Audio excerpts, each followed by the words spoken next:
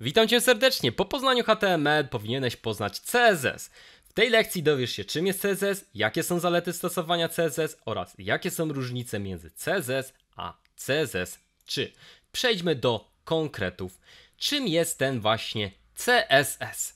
Cascading Style Sheets z angielskiego, czyli kaskadowe arkusze stylów.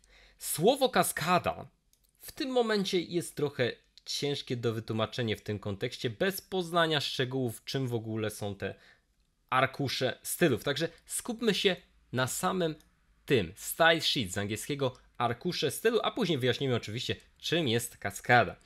CSS to w skrócie właśnie język do tworzenia tak zwanych arkuszów, czyli takich plików z regułami, które określają styl, czyli wygląd poszczególnych po prostu tagów na Twojej stronie internetowej. Czyli łatwo to teraz powiązać z ostatnimi członami nazwy, prawda? Ten style sheets, tak znaczy arkusze stylów. Tak więc zapamiętaj, że CSS jest odpowiedzialny za co? Za wygląd Twojej strony internetowej i tylko za to. HTML to treść Twojej strony internetowej, której znajduje się wiele tagów, które określają właśnie tą treść, prawda? Natomiast wykorzystywanie tych tagów jest przeznaczone dla CSS na przykład i CSS może selekcjonować, selekcjonować, wybierać te wszystkie tagi do obróbki, do zmienienia wyglądu przy pomocy tak zwanych selektorów. Przejdźmy do jakiegoś przykładu, bo tak będzie lepiej. Mamy tutaj kod HTML, prawda? Który w tym momencie, no, jak wygląda? Ano wygląda w taki oto sposób. Mamy proste jakieś tam wypisane, to jest testowy paragraf, prawda? I mamy teraz plik, zaraz powiem wszystko o tych powiązaniach, jak to, dlaczego to tak wygląda inaczej. Natomiast mamy plik style.css i w tym pliku możemy tworzyć, yy, określać właśnie yy, te selektory, które będą wybierać właśnie elementy z naszej strony internetowej. Dla przykładu wybierzmy sobie o te wszystkie tutaj paragrafy, prawda? P od paragraf, prawda, od akapitu, czyli wystarczy co napisać? Napisać P, następnie otworzyć z takimi klamrami i napisać na przykład color red, po czym gdy przejdziemy tutaj zauważymy, że wszystkie są jakie od razu czerwone. Czyli P w tym wypadku to jest selektor elementów, tak zwany tagów, który po prostu mówi przeglądarce, aby wybrać wszystkie akapity, jakie tylko są z właśnie tej strony, prawda? I zastosować regułę, czy też reguły, które będą pomiędzy tymi klamrami, pomiędzy klamrą otwierającą, a klamrą zamykającą.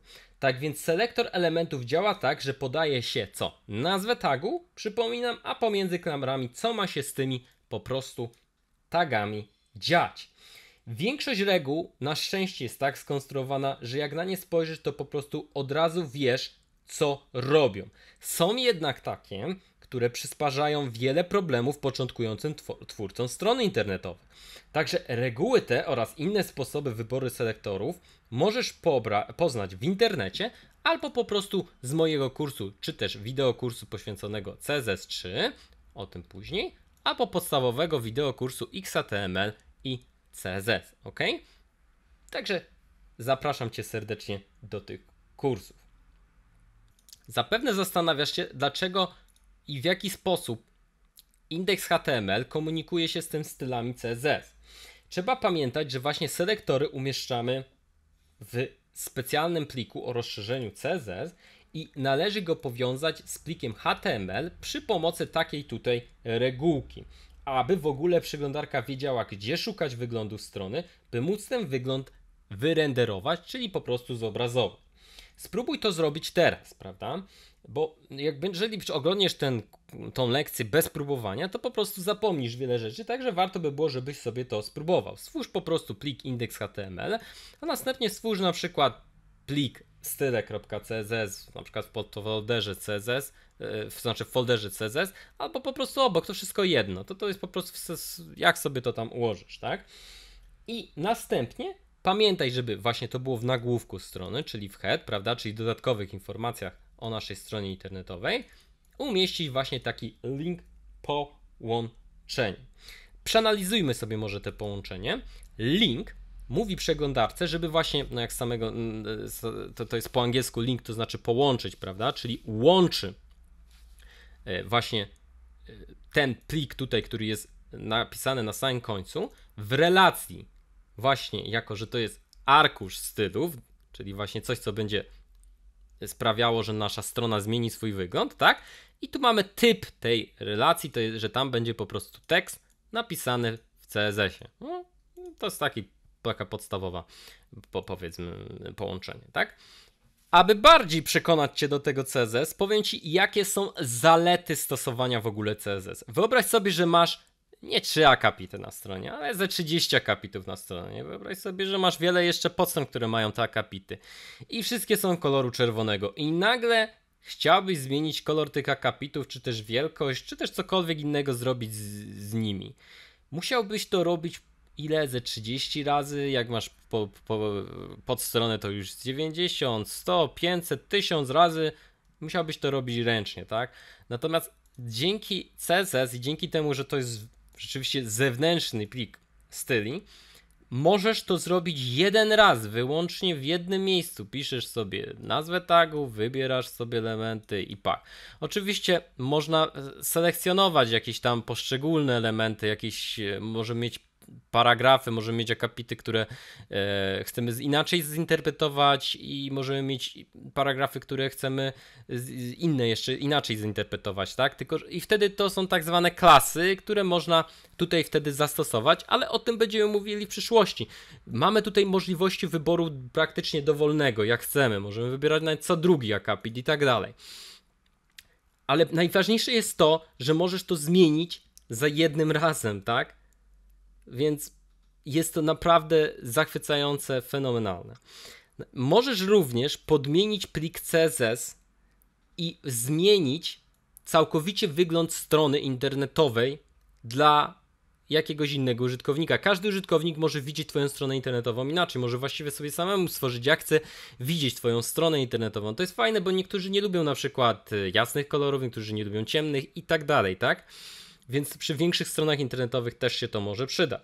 Strona przede wszystkim czytuje się szybciej, ponieważ taki plik CSS tutaj wczytywany jest tylko raz, po czym przechowywany jest w pamięci podręcznej przeglądarki, tak zwanym cache, i jest najczęściej współdzielony ze wszystkimi podstronami.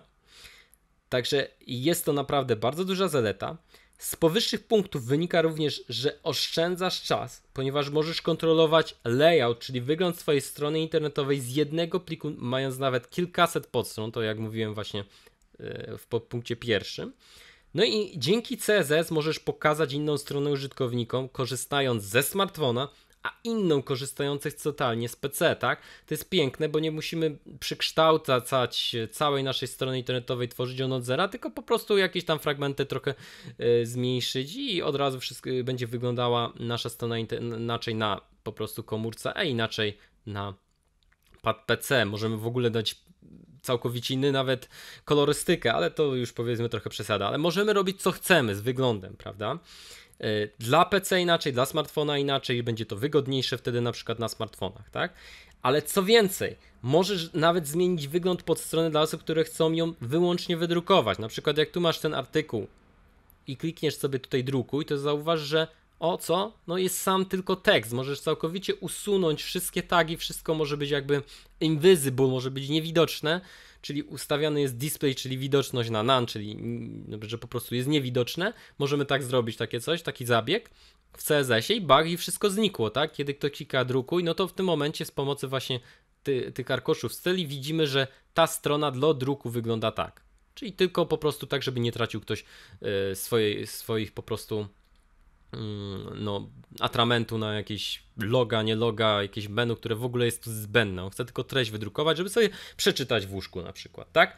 Także bardzo fajne. Yy, ważne jest też to, abyś zrozumiał, czym jest CSS, a czym jest CSS3, no bo to w internecie już w tym momencie, no już wszyscy teoretycznie niby korzystają z CSS3 i chodzi o to, żebyś no wiedział czego, od czego zacząć naukę, prawda? Przede wszystkim CSS3 to są nowe selektory, czyli po prostu sposoby selekcji pobierania tagów, czyli można wybierać tagi co drugi i tak dalej, tak? Animacje przejścia, transformacje 2D. O co chodzi? No, możesz robić ciekawe animacje, na przykład o taki kosz, dodaj do koszyka baton, tak? O, popatrz, takie coś robimy na przykład w tym kursie. Jest to dosyć ciekawe. Hmm, może jest totalnie nowe podejście do układania treści. O tym więcej już w kursie. Zaokrąglone krawędzie, cienie, przeźroczystość, gradienty możesz tworzyć. Ale e, przede wszystkim właśnie jest to w CSS3, że możemy tworzyć responsywne e, strony internetowe, czyli responsywne to są takie, które dostosowywują się do rozdzielczości ekranu użytkownika, są po prostu responsywne, reagują na to, jaki, jaką przeglądarkę ma użytkownik, jaką rozdzielczość ma użytkownik. Strona automatycznie po prostu zmienia swój wygląd, w zależności od tego, czy użytkownik korzysta ze smartfona, czy też ogromnego monitora w rozdzielczości powiedzmy 2K, czy też 3K. Warto również wiedzieć, że CSS3 to tylko rozszerzenie podstawowego CSS, tak znaczy, że wszystko, z czego korzystano do tej pory w CSS jest kompatybilne z CSS3. CSS3 to tylko rozwinięcie CSS, tak znaczy zanim poznasz nowości, poznaj podstawowe po prostu CSS. Warto jednak poznać CSS3, ponieważ wnosi on naprawdę bardzo wiele pozytywnych zmian i ułatwień, o których przed chwilą właśnie mówiłem, które są między innymi tutaj wy, e, wypisane. Możesz tutaj darmową lekcję oglądać i zobaczyć o co w ogóle w tym chodzi, ok? Mm, ale naprawdę warto. Tutaj widzisz, masz możliwości wybierania powiedzmy, wybierz wszystkie elementy, które mają jakąś tam klasę, zawartość, właściwości, content i tak dalej. Są takie bardzo szczegółowe możliwości wybierania elementów ze stron internetowych, które do tej pory nie było. Warto znać naprawdę CSS3. To jest właściwie podstawowa wiedza każdego w tym momencie twórcy strony internetowej, czyli poznanie podstawy, czyli XHTML i CSS, tak, a później właśnie CSS3 to jest właśnie rozszerzenie o te naprawdę ułatwiające życie, sprawiające, że możesz w łatwy sposób stworzyć animacje, płynne przejścia, transformacje na swojej stronie internetowej. Wie, już wiesz, co to jest ten CSS, yy, wiesz już o co w tym chodzi, jednak dalej nie wyjaśniłem ci, co oznacza te słówko cascading, prawda? Ta kaskadowe. Co to znaczy w kontekście właśnie tym? Kaskada to inaczej stopniowy szereg. Szereg oznacza, że coś jest ustawione w kolejności i ta kolejność ma znaczenie. Tak znaczy, że jeżeli masz ustawione coś 1, 2, 3, to 2, 1, 3 to nie jest to samo, tak? Kolejność się tu liczy, to ma bardzo, to jest bardzo ważne i to podkreślam. Ale w jaki sposób odnieść to właśnie do naszego CSS-a? Gdzie tu jest ta kolejność? Gdzie tu ma jakby to powiedzieć sens, że rzeczywiście kolejność ma znaczenie? Wyobraź sobie, że nazywamy CSS następująco. Szeregowe arkusze stylów, tak? No bo w końcu zamiast kaskadowe to powiedzmy szeregowe. Mówią, że to jest bardzo podobne. I albo ewentualnie może inaczej jeszcze. Walczące ze sobą arkusze stylów. Bo w końcu kolejność ma znaczenie, tak? Czyli walczy ze sobą pewna kolejność. I aby zrozumieć te słowo, należy wiedzieć również, że każda przeglądarka, tak, każda Firefox, Google Chrome i tak dalej, nadaje jakiś domyślny styl dla wszystkich tagów. To znaczy, że dla przykładu, kiedy właśnie zrobimy sobie tutaj B, o, w taki sposób, czyli bold pogrubienie, to zauważymy, że to jest pogrubione i to jest domyślne dla tej przeglądarki, że to będzie pogrubiać. Zauważ również, że pomiędzy akapitami jest jakiś tutaj odstęp, tak? To są domyślne zachowania, które my możemy chcieć ewentualnie zmienić, tak?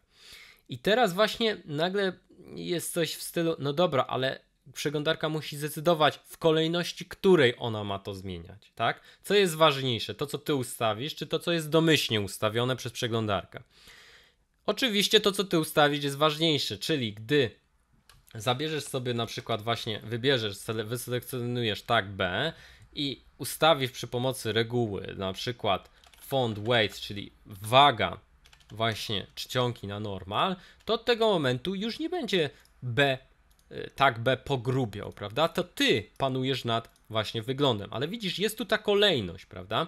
Najpierw liczy się to, co ty zrobiłeś, a później liczy się to, co domyślnie przeglądarka uważa, że powinno było zostać zastosowane. Co więcej, jest jeszcze coś, co jest jeszcze ważniejsze, czyli tak zwany styl inline. Możesz sobie tutaj stworzyć style i tutaj z powrotem dajmy font weight bold, czyli pogrubiamy i zauważysz, że jednak jest pogrubione. Dlaczego? Ponieważ ten jest jeszcze ważniejszy. Jeżeli to skopiujemy i zrobimy tak, to zauważysz, że ten nie jest pogrubiony, pomimo tego, że ma właśnie te tutaj B. Z tego powodu, że domyślny styl, który nadaje właśnie B, tagowi B pogrubienie, został zastąpiony co? Tym tutaj. Natomiast ponieważ tu mamy jeszcze coś takiego jak inline, czyli w jednej linii nadany styl, to to jest ważniejsze. Stylów inline bardzo, ale to bardzo rzadko się stosuje, ponieważ właśnie traci się, gdy stosuje się właśnie style inline, yy, tą potęgę styli, tak? Znaczy, że możesz zmienić w jednym miejscu po prostu wszystko, tak? Więc to wszystko w jednym miejscu musisz się później babrać w swoim kodzie HTML, który tak naprawdę tylko powinien określać nie wygląd, ale strukturę strony internetowej. Bo przede wszystkim warto też to zauważyć, kiedy wejdziemy na przykład przy pomocy tutaj takiego narzędzia i usuniemy sobie z head style, tak, pach, to zauważ jak wygląda strona internetowa. Jak widzisz, ona wygląda kiepsko. To, są, to jest tylko tekst i obrazki. I ty nadajesz wygląd stronie internetowej przy pomocy właśnie naszego CSS-a.